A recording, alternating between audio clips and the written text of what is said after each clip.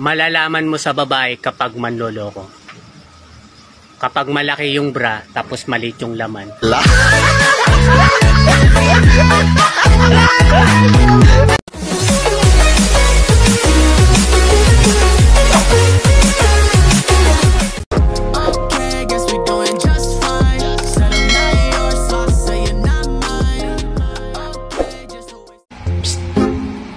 Naligo na ako.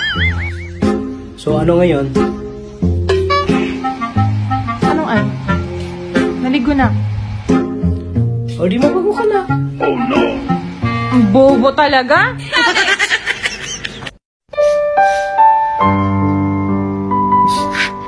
Gusto mo nang umalis? Ha? Gusto mo nang umalis? Sige. Hinding-hindi kita pipigilan. Isama mo na rin lahat pati mga gamit mo. Pero ito lang pakiusap ko.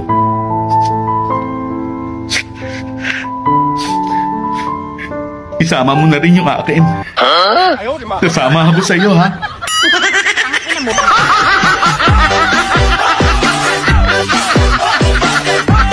Mahal?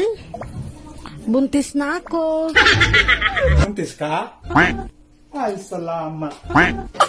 Sa haba rin ng panahon, nabuntis na rin kita. Pero, Anong pero? hindi ikaw ang ama.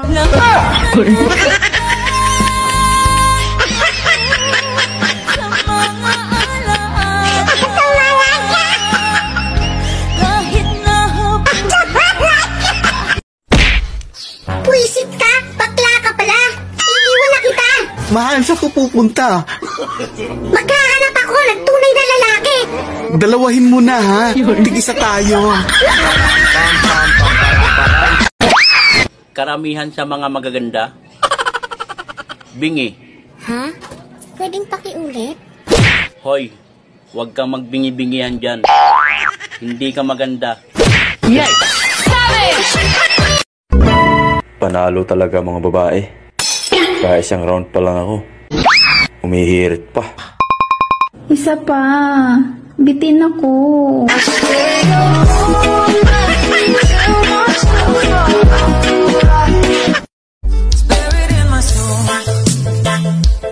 Ate, budol fight tayo. Ikaw na bahalang kumain ng hotdog, saging, talong, imbutido. Ako na bahalang kumain ng tahong mo. Sabi ka makulo. Ibigay mga labi. Pare, anong bisyo mo? Alak at sigarilyo, pare. Matagal ka na bang umiinom at naninigarilyo? Matagal-tagal na rin, pare. Mga ilang taon na rin.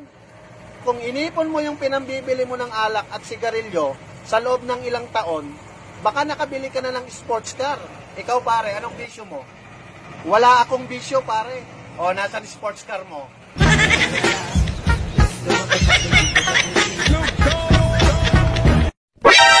Anyari, Iniwan na kasi ako ng jowa ko. huwag ka na kasi magjowa-jowa. Mahalin mo na lang yung mga anak mo at isama mo ako.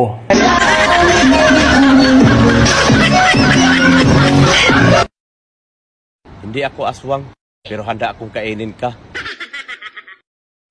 Magpapakain ba ako, kakain ka? Anytime.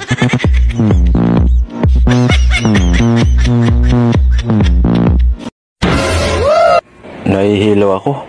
Baka, niloloko muna naman ako. Hindi. Tara, pa-check up kita. Huwag. Bakit wag? Lasing lang ako.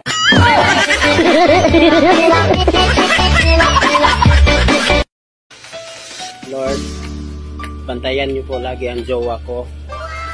Pag lumingon po siya sa iba, kunin niyo na agad.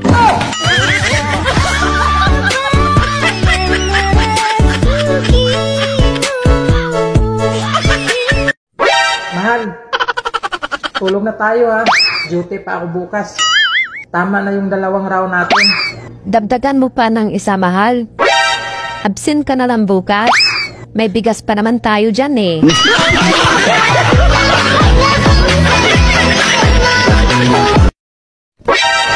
Nasa kamay daw ang tagumpay. Bakit nung inaraw-araw ko dun sa CR, hindi naman ako nagtagumpay, lupay-pay pa.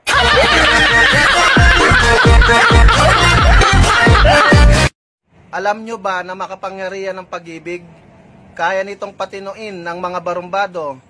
Kaya nitong paiyakin ng may pusong bato. Kaya nitong gawing mabait ang taong makulit. Higit sa lahat, kaya nitong hubarin ng iyong damit nang hindi ka nagagalit. Sandal mo sana ang ulo